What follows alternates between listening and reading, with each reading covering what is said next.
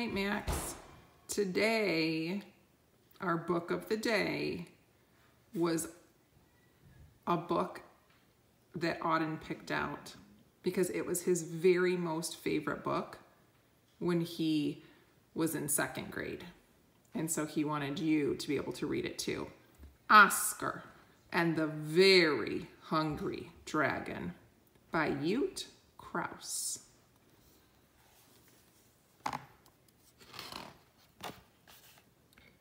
Imagine a very dangerous dragon, sort of like this.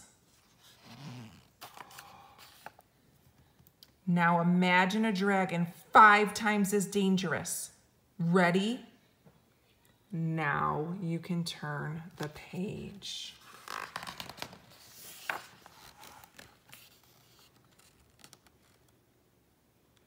The earth shook and trembled. The great dragon was awake and very hungry. It was time to feed him a princess, but no princess was available.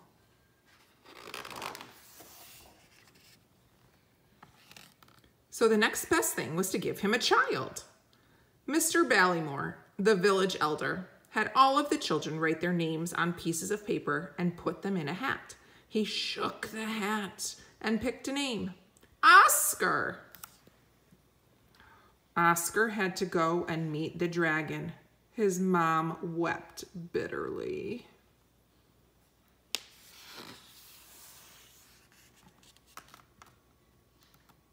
It took Oscar hardly any time to find the dragon, who was eagerly awaiting him and very, very hungry. He hadn't eaten for 344 days, but when he saw Oscar, he was disappointed. He had hoped for a fat, juicy princess. Why are you not even a teeny weeny snack? He roared. Oscar held his nose the dragon had really bad breath after his long fast. Oscar knew he couldn't run away, so he had to think of a clever answer really fast. If I were you, he said, I'd fatten me up and turn me into a main course.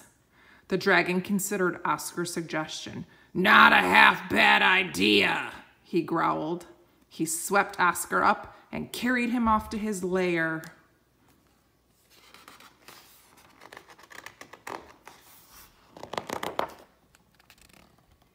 The dragon plunked Oscar in a cage. What do you need to fatten up? He asked. Oscar wrote out a long shopping list and ordered a professional cooking stove. When the dragon returned with all the goodies, Oscar immediately set to work on a wonderful meal.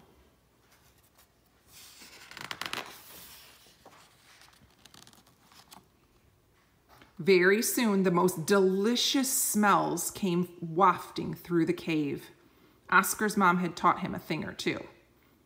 Dinner's ready, he called. Grilled eggplant for starters, and then pasta and homemade ice cream. Shut up, roared the dragon. Dragons don't eat stupid human food.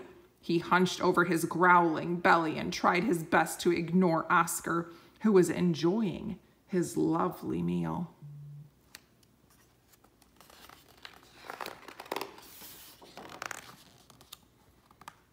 The next morning, Oscar handed the dragon a new shopping list.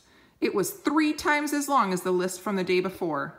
The dragon returned with all the groceries. Soon the smells that filled the cave made his mouth water.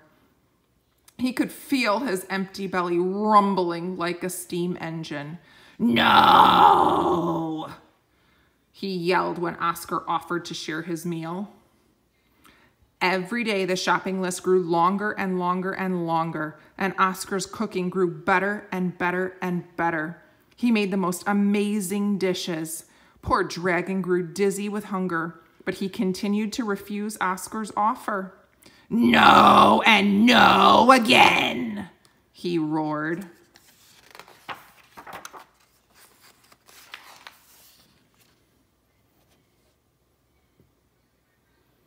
He roared so loudly that the villagers heard him. Oscar's done for, they cried, weeping their sad eyes. He was such a nice boy. Oscar's belly was getting nice and round with so much food. Show, show me your finger, said the dragon one day. I want to check to see if you've gained weight. Oscar, who had learned a thing or two from listening to fairy tales, quickly held out the cooking spoon to the nearsighted dragon. Oh, nearsighted. That means his eyes don't see very well, and he is not wearing his glasses.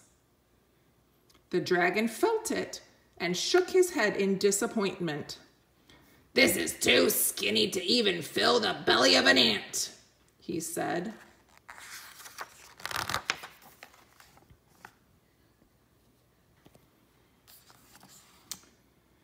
Well, I have some leftovers, said Oscar, for Oscar to comfort the poor dragon. No! The dragon began to roar, but then his voice cracked and he had to lean against the wall. He had grown so weak with hunger. Well, he added in a small voice, on the other hand, it would be a waste of food to not eat them, wouldn't it?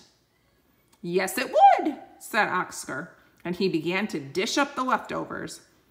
The dragon, who had only eaten princesses so far, was amazed when he tasted Oscar's cooking.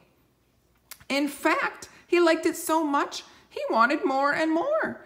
And when the last plate was licked clean, he fell into a deep, happy sleep. He snored so loudly, Oscar didn't sleep a wink.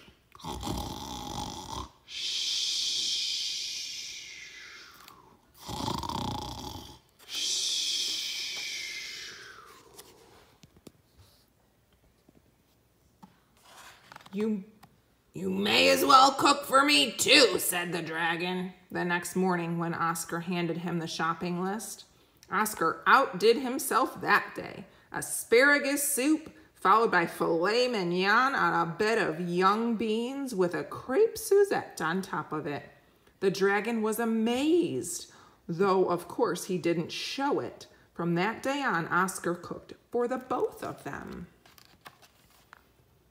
As the smell came wafting down into the village, Oscar's mother cried, He's alive! Oscar's alive! I recognize those smells. I taught him how to cook that dish.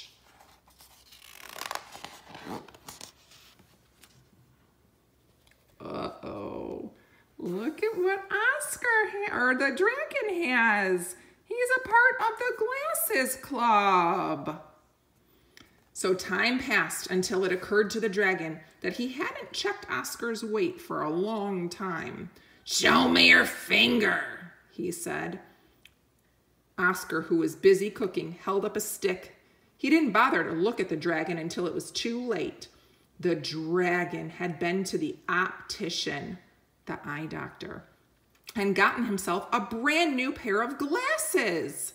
Angrily, he stared at the stick and at Oscar, who had gotten very chubby. You tricked me, he roared. You'll pay for that. You're going to be my next main course. He made a grab for Oscar, and Oscar jumped aside, but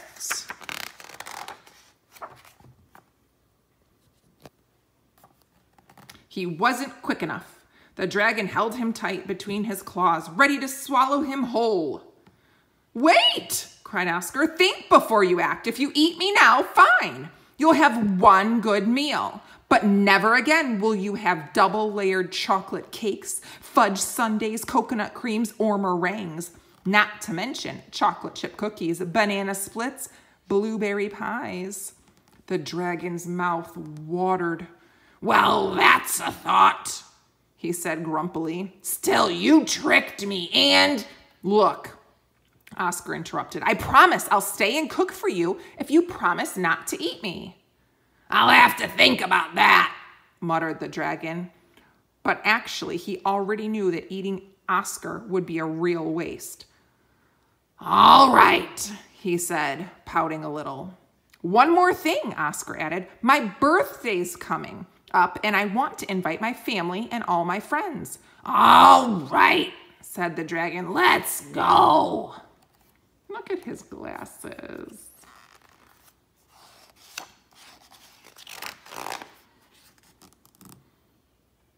When they reached the village, nobody was there. Everyone was hiding from the dragon, everyone except Oscar's mother. She was very happy to see her son. This must be Oscar's mother. When the other villagers saw that the dragon was just chatting and being social, they came out of their hiding places and joined in. Oh, look at Oscar wants to give his mom a hug. He missed her. Everyone came to the party at the dragon's den. They all brought something to eat. It was the best birthday party Oscar had ever had. The dragon ate his way through all the dishes, took the kids for rides and on his back, and when it grew dark, made the most fantastic fireworks show anyone had ever seen.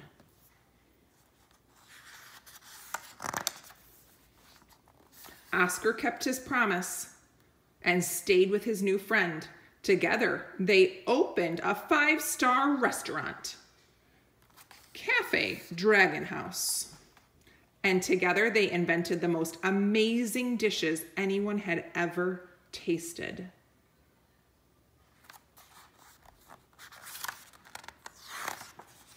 The end.